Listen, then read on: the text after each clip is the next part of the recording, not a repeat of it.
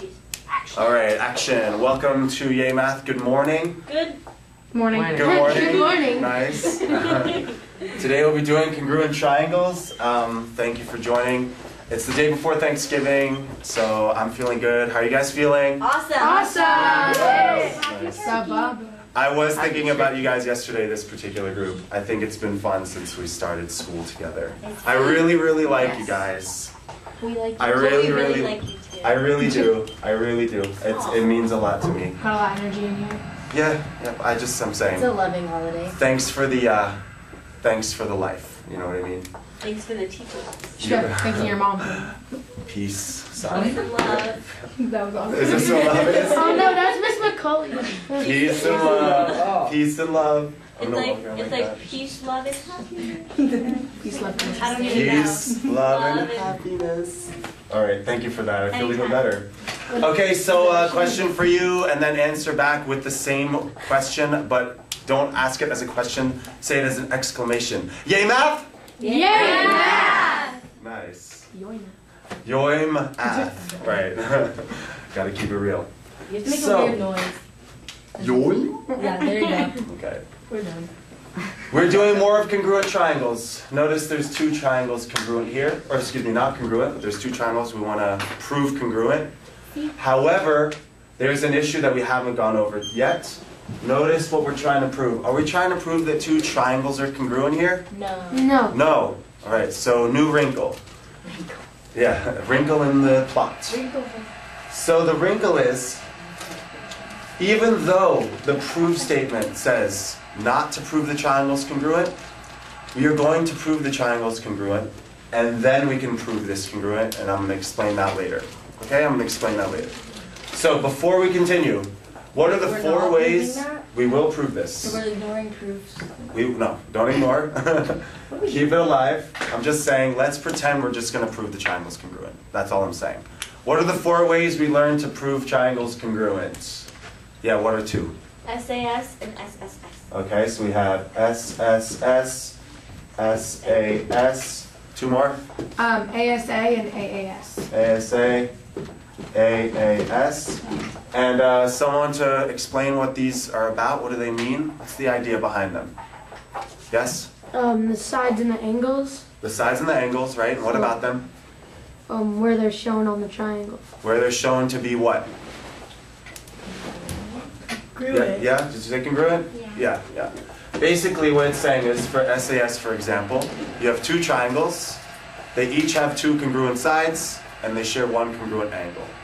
And if they have two congruent sides and one congruent angle between them, then the two triangles are congruent. So what do these do? Show congruency. They prove congruency, show triangles congruent for, um, they're the four ways of proving triangles congruent, that's right.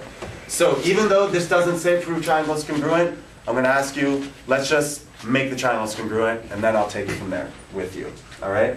So here we have this triangle and this triangle, correct? Mm-hmm. We have parallel lines marked.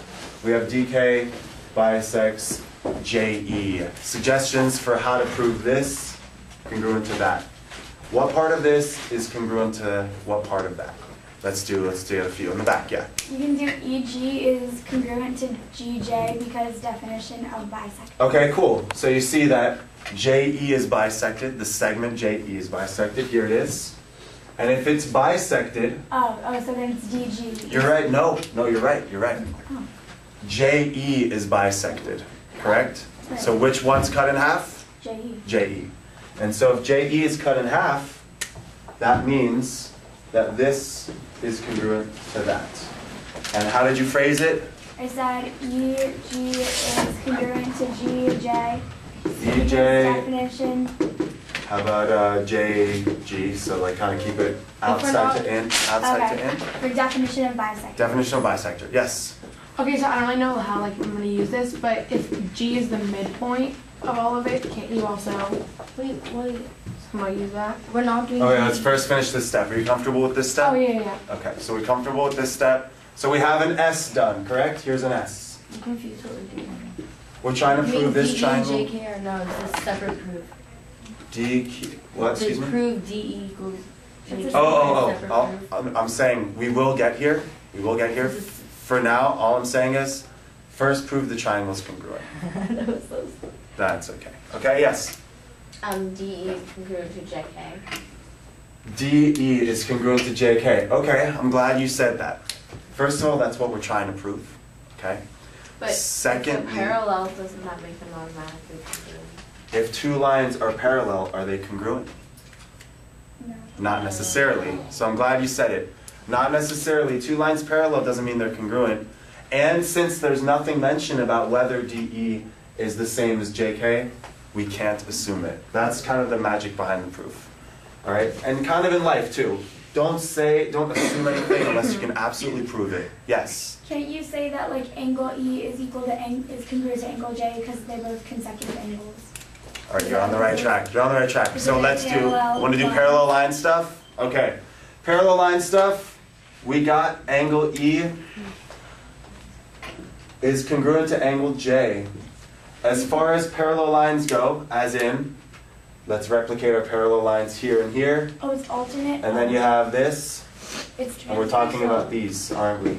And so they're What are they called? alternate interior. Alternate interior. So, angle, do we need three letters for angle E, guys? Or can we use just angle E? Just angle E. We can just use angle E. Why? because it's only the angle. This is the only one there.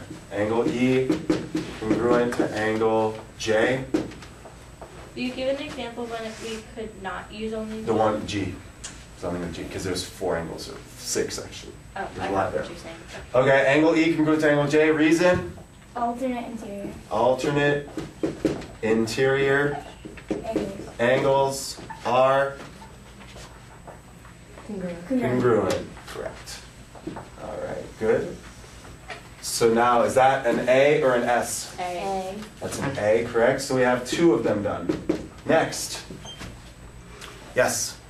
Oh, you can also do the other bisect when JE, when TK JK. bisects JE, doesn't it work the other way also? Oh, you're saying that if DK bisects JE, does JE bisect DK?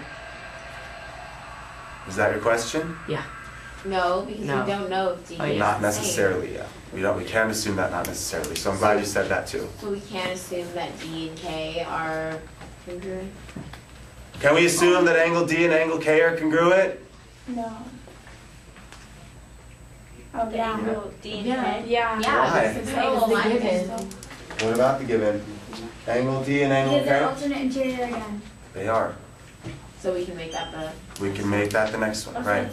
We could do another alternate interior. Or you guys, we can do, um, could you do angle G is equal to angle G? okay, that's when we need three letters. We could do these two angles as well. And you could you say D, like J, E, or, and J, uh, G, K. These two angles, what are they called? vertical angle? Vertical angles. Vertical angles are always, Equal. yeah, congruent or equal, so we could do both.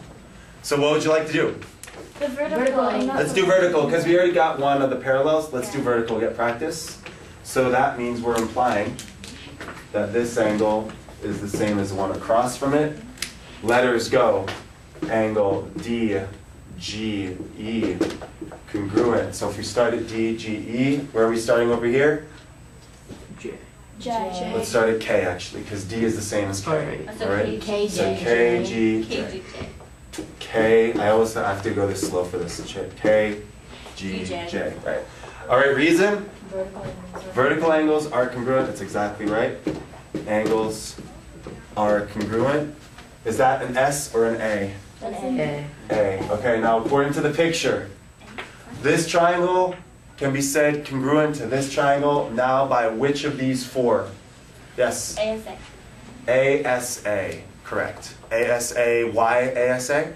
Because you're using the angle for the angle E and J. Look at, the, look at these three, that's what I'm asking. Right, because then it's, it's an angle side Right. angle. The S is between the two A's in the picture. The S is between the two A's. So we can say triangle now. Let's do D, G, E.